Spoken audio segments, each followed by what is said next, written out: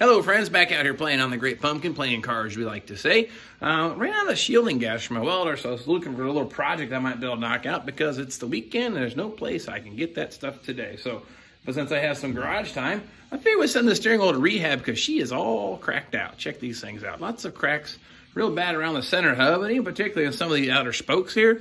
Oh, we got some good, pretty good sized cracks going on there too. So I'm sure your steering wheel may look just like this, maybe worse, hopefully better. But what do you do with this thing? Throw it away? Heck no, these things are pretty cool looking steering wheels. The center cap horn button is just fantastic. Love the look of the steering wheel. I hate to throw that thing away. Now the downside is, good luck finding a good used one. It's not cracked because you're going to pay as much as I probably whole car probably cost you. Those things are not cheap um, as if you find one. So the other options are, let's repair the steering wheel. But how do you do that? You might be asking yourself, well, I use 3M body panel adhesive and absolutely love that stuff. So uh, look at what 3M had for products. I almost dropped it. The old plastic repair in a bottle, 05887. It's meant for flexible plastic components like bumpers and trim pieces, I guess. Um, but this steering wheel, it's made of plastic and partially flexible. So really hoping this is a good fix. This is a bit of an experiment, but I like to try new ideas. And of course, if it works out great for me, you can do the same to your steering wheel. I'll get you up here close so you can see what I've got going on. Uh, definitely some seriously deep cracking here in the center of the hub. Um, that's where the probably the ugliness is, uh, the worst of it. And we have some minor cracking out here, and then here on the spoke, just the same. Now that's I don't feel going to be too hard or difficult to fill in. Now these, that's going to need some attention and some finesse. Now this plastic, that's a, of course there's a metal steering wheel inside this and they mold the plastic around. This plastic you can heat up and kind of reshape it and get it draw back towards the center. But I'm afraid that that's probably above my skill set and I'd probably make it worse. Or the other thing kind of pops in my head is once it cools and relaxes, is it going to want to just pull back apart anyway? So this is a pretty well set in stone, 55 years of shrinkage. I think I was going to leave that well enough alone. But just an FYI, you could heat this up and it becomes pliable. And I've seen people do that on some videos and it seems to work for them. But uh, I'm not going to do that. I'm going to try this this year because let's see, if I'm not brave enough, I don't expect you guys are either. So how can we do it? I said we're going to try this stuff out here. But I say step one, this thing is just disgustingly dirty. I'm gonna go ahead and give it a bath. Maybe put it in the Mrs. soaking tub and use her toothbrush, but just just don't tell her. But we'll get this thing cleaned up. We'll come up with a plan to get it fixed. Bam, just like that, clean and just like new again, right? Well, got all the dirt out of here. These spokes look really nice on the inside. Now you can see the nice, pretty black plastic. It's not been sun bleached, faded, and worn out. And all the gooey gunk body butter sludge out of the rim here. Now it is a little faded through here. That's not still crud. I've actually scrubbed it on that, but it doesn't come off. So that must be a stain or just maybe it's faded out some of the plastic. But here's something else kind of funny. You guys have been following along with the very beginning of this build. Remember that white paint that was all over the subframe? It appears it made itself to the steering wheel. I could not get that stuff to scrub off there. We got some pretty deep scratches too. But nonetheless, I think we're still going to be a great foundation. Scrubbing and cleaning with a little bit of soap and water, no dish soap in the in the sink there, and a Scotch-Brite pad. It came up pretty nice, so that's a good starting point. Now what we're going to do though to prep these cracks in the surfaces. Um, I've got a burr bit um, meant for like uh, aluminum, so it's really wide teeth on it. I'm going to use that to taper back all the cracks, kind of like a V groove, for the idea in case this stuff does flex or move around a little bit less chance of cracking right back on that super fine line. You know, similar here on the outside edge of the rim. You could try to fill in just the crack, but I'm afraid it may want to flex. And of course, you're back to be having a crack in your nice finish. So I'm going to V-groove all of this back. So when I put my adhesive in there, it'll give them more of a bite, uh, hold on into place. And the same thing here with the cracks around the spokes. I'm going to do the same thing to that. V-groove or V-notch that stuff out. And then hopefully that's going to hold up. So now the next thing here, I'm to get my little burr bit out. Let's get started on that the style of burr bits. There's different kinds for different type of metal. Now I know this is plastic, but basically ferrous, non-ferrous metal kind of thing. But the separation of the teeth or the cutting edges are much further apart here, so less chance of clogging it up and basically gumming up the works. This would probably work for plastic, but I'm not even going to try. I have this one here. I'm going to try to use this one. The idea is just to file back the plastic in kind of a V groove here, so a place for the uh, epoxy to go into, basically. But all we're going to do is something like this here.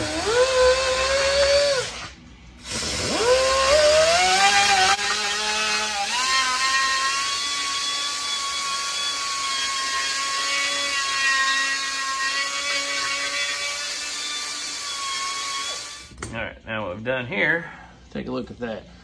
kind of cut that back at an angle. So if you sight it down here, this is all tapered back. So I put my, I guess you call it that epoxy on there, it'll actually be a wider patch and hope that it stays in place. So I'll do the same thing here to the other side of the crack.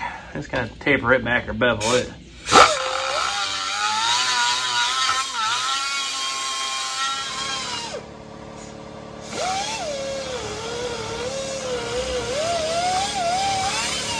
Got this all V-grooved. I see a nice channel for that stuff to all sit in. And of course, I know it makes it wider. It's going to take a little more material, but just again, I think it's going to hold up better. This is 80 grit sandpaper. I'm just going to key up, scratch up, scuff, whatever you want to call it, the leading edges here. So whatever goes past my opening, I have a fighting chance of actually biting into it. And it's opening the surface up too because it's a pretty slick surface. And I would like to have some kind of a bite to it. So the idea. Now it's all said and done. The steering wheel will be a painted steering wheel, so it's not going to be as durable as the original finish, unfortunately, because this is all molded plastic, solid black. Never be an issue. So, but there isn't any other choice. So we're going to just paint it. So we're going to basically doing body work on the entire steering wheel and reworking it and finishing it like you would painting a car. There you go. And the same thing when painting a car, you can't leave a slick finish or the paint or your materials won't adhere.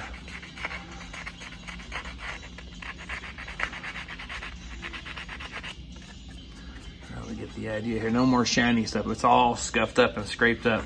Like I said, not the end of the world. We're gonna body work this and give all the sand marks when we're done, but I just, I really want that thing to hold. Do this front edge here too.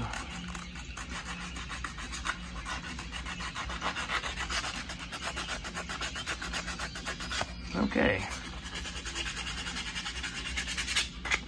I think that ought to work. I got some more goodies out here. Next step of the process, tack cloth, wipe it down, rubbing alcohol, get anything out of there, cleaned out so it's ready for the stuff to adhere. Uh, I got a couple ideas. I might just take some masking tape, put on the inside here to kind of give it kind of a mold so it doesn't go oozing down the inside of it. And I don't know the consistency of this stuff, how runny it is, so it may take several coats to get it built up. But either way, I'll put some tape on the inside here. And what you see here, here's that adhesive. Uh, I have an actual fancy gun. They make a cheaper version of this, or if you get lucky, you need to squeeze out equals amounts. Uh, I should say not an equal amount, there's different sizes, but you know what I'm trying to say. Throw it on the paper and mix it up kind of like silly putty or Bondo. So there's what I'm gonna do. I'm gonna dump some on the old uh, Cheerios box, mix it up, and fill in the groove. All right, here's the next part of the process that's popping in my head. Wipe it all clean. I use some alcohol on the towel here. Wipe it all clean, clean the groove out really nice. Get any kind of residue, sludge, slime, whatever. Basically prep it just like you're gonna do body work on a car. Now the other thing is kind of laying in my head here, that's a pretty wide opening. I don't know the viscosity or how thick that stuff is or isn't. I'm gonna take some tape. I'm gonna put on the inside of here, kind of build like a mold because that's gonna be pretty thick. So it's gonna be plenty of material, but I don't want it just kind of oozing out of the way. So I'm gonna take some masking tape. Yeah put inside the channel there so help keep its shape.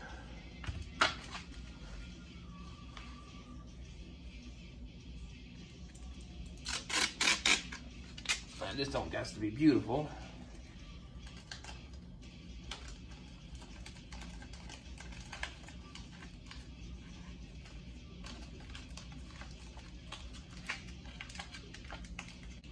If you look inside the groove and I have something for the stuff to ride against, I'll go ahead and maybe tape the inside here too. Okay. All right, now this gives it a place for that stuff to sit in there and not hopefully fall out. So the next thing we're gonna do, I have the actual fancy mixing gun they use for this stuff. There's other version, I think it's a whole lot cheaper. I bought this at a swap meet years ago, like 60 bucks. I got it for a great deal, but you get the idea. It's still like a two part mix, kind of like uh, body filler. They make a mixing tip for it, but that's okay. I know how to use it without it. So we're going to go ahead and get some going here.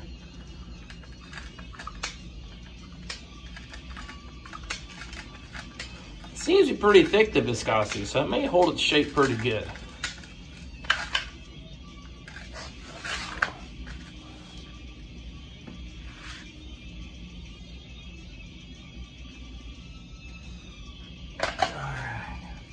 Oh yeah, that's plenty thick. I don't think it's gonna get carried away here. since I'm not using the mixing stick. Wow, I'm gonna make sure I mix this up good. Pretty sure I'll be able to get some pretty good shape out of this.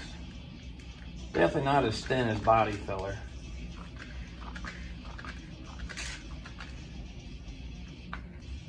Boy, okay. I still think the tape's not a bad idea. Okay, well, let's get this going here. Now, what we can see, I'll pack it all in the base of the channel.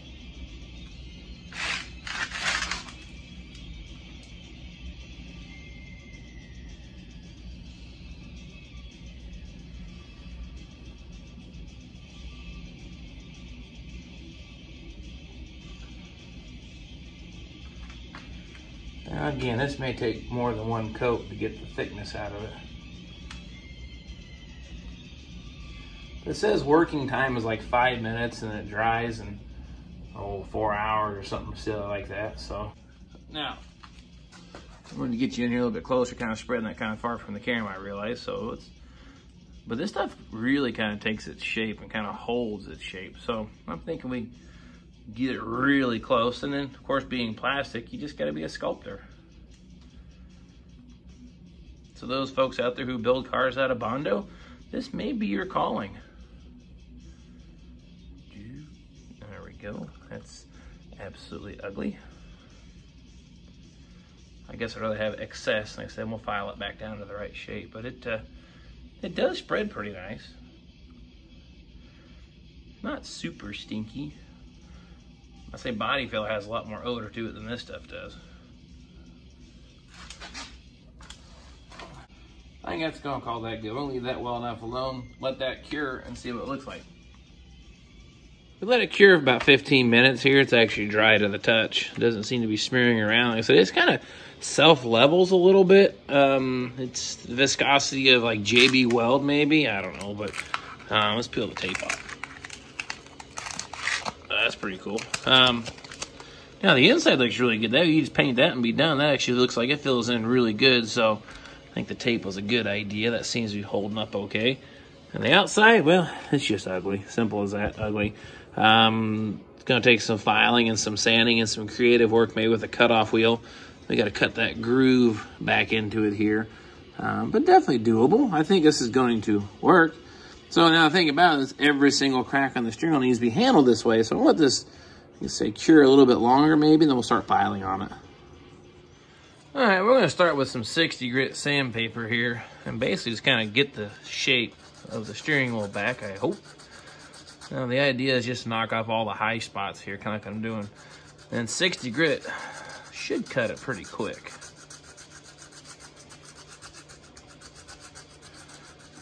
So far it's filing off pretty good. Now you can see this is gonna take some time, but we got a little bit of time. I got no shielding gas for my welder. And I also want to get the steering column put back together because I want to drive this car, or at least make it mobile again. So we got the floor shifter mounted up in previous videos. So I gotta get the steering column done. So no sense putting together, just take it back apart.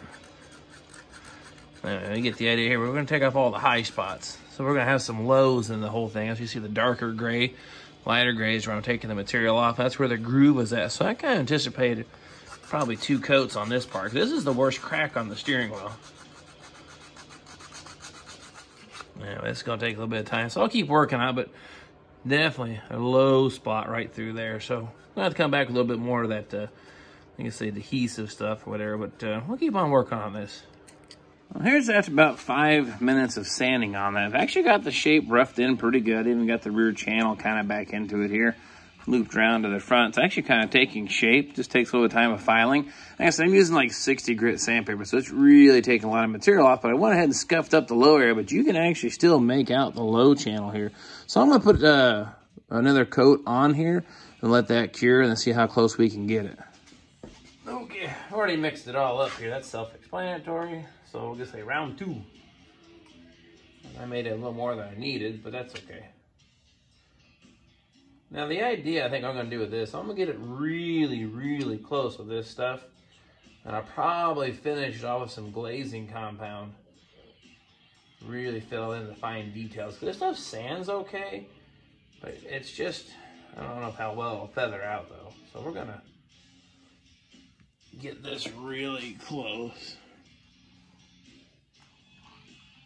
All right, now we'll let that set up there for a while. It looks pretty good. Got a nice shape to it now, and oh, got a nice radius top of the wheel. So it's gonna get super, super, super close.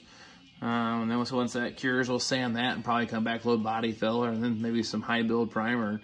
That part may be okay. Okay, here we go. I let that stuff cure. Um, I actually got it all sanded nice and contoured really good.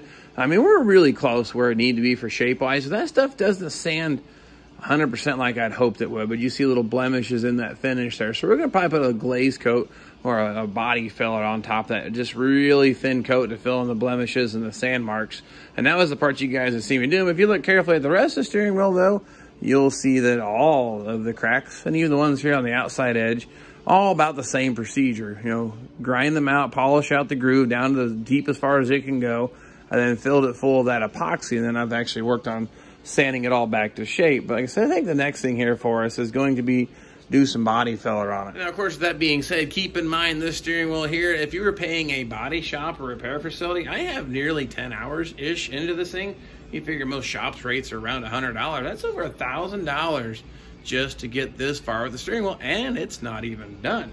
I'm going to guess I probably have another five or six hours invest in this thing to get it where it's ready to be painted. So keep that in mind. If you're paying someone to, to build one of these steering wheels or rebuild, you may have $2,000 into it. Hmm, that's kind of steep. But if you did it yourself, I've got about 60 bucks of material so far. I suspect all said and done, all in, I may have $200 invested in the steering wheel by the time you body filler, paint, uh, finish coat, top coat, whatever. I'm going to have a few bucks into this. So is it worth salvaging these old steering wheels? No idea. Don't know. I'm just going to have fun putting this thing back together, see if it can be done. I kind of like the challenge, and I hope maybe you learn something. But uh, I'm going to conclude the video as for how to get the things fixed. But I'm going to come back. We're going to finish this steering wheel. I just kind of did this little side project because it got too cold to do much more work. But as you can tell behind here, Great Pumpkins make a little more progress. And of course, I hope you guys keep joining us for the rebuild of this car a two-car garage. And if you haven't subscribed yet, please do. I'd appreciate that. It shows me that I'm doing the right things and I like to see this channel to continue to grow. And please share with your friends. So it doesn't happen without you checking this thing out and telling me, hey, Jon, appreciate what you're doing for us. Now, I'm going to keep plugging away if you guys don't tune in or not, but I'm going to do the whole car here. I want to get it all posted on YouTube for anyone to reference later on. So appreciate you following me on the journey so far. Plenty more videos yet to come. I hope you guys join us back out here, whatever we decide to do next. I'm not sure which direction we're going to go. Got plenty of projects, but either way, however it goes, I'm going to grab the camera. Hope you guys join us then, and whatever it might be. And of course, any questions, let me know just the same. But hope you guys uh, enjoy what you're seeing here so far, and uh, we'll catch you next time.